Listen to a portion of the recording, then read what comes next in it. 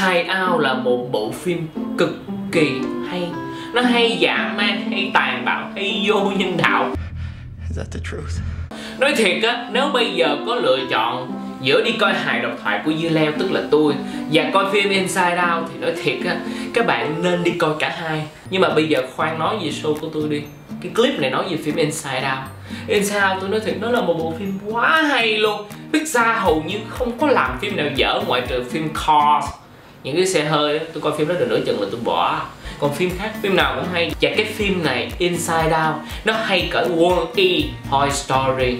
Nó hay tới mức mà các bạn coi cái phim này các bạn sẽ cảm thấy ú á ồ à tại sao người ta lại có thể nghĩ ra được những chuyện đó? Nó cũng kiểu như phim coi phim Inception vậy đó các bạn sẽ nói trời sao giải thích cái vấn đề này thấy đơn giản quá mà đúng y chang như mình nghĩ trong đầu luôn á. Is that the truth? nó hay tới mức như vậy đó thì phim này nó nói về cái gì nó nói về một cô bé một ngày nọ bỏ lại nơi ở cũ để cùng theo cha mẹ chuyển tới một thành phố mới, tức là bỏ bạn bè trường lớp những kỷ niệm mẫu thơ, chuyển tới một thành phố mới sống. Thì đây là một bộ phim nói về những cảm xúc của cô bé. Nó cảm xúc theo đúng nghĩa là cảm xúc luôn á, tại vì theo như bộ phim này thì trong đầu của ai cũng được điều khiển bởi năm cảm xúc chính vui vẻ, buồn bã, giận dữ sợ hãi và chảnh chạ tôi chỉ có thể nói tới đó thôi.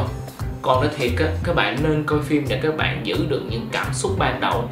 Giống như bây giờ tôi mà kể hết rồi, các bạn coi, các bạn sẽ nói mày kể hết trơn, đâu có chán nhưng nó không có hay nữa.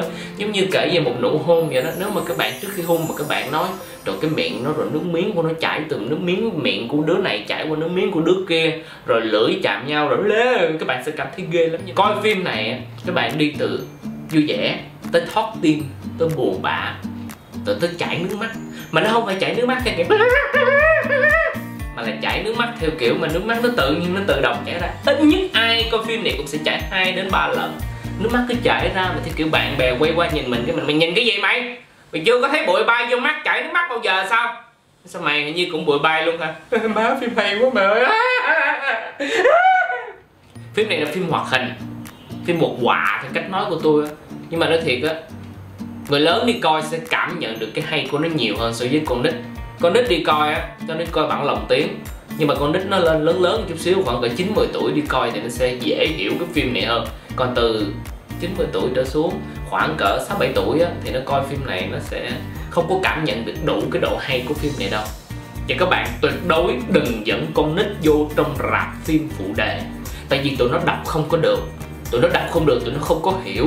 Lúc đó đó các bạn sẽ không có coi phim được đâu mà các bạn sẽ tốn thời gian coi chừng mấy đứa con nít để cho nó đừng có làm phiền những người chung quanh đó nghe lời tôi đi. Nếu được các bạn để con cái ở nhà các bạn đi coi phim.